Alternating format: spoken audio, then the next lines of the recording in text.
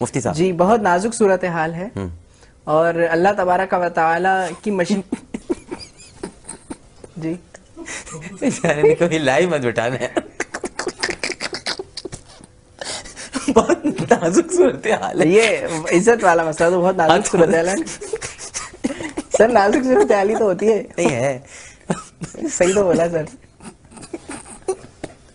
सवाल सवाल की बात ले लो। मुझे मत रखो मेरे पर कैमरा मत रखो यार।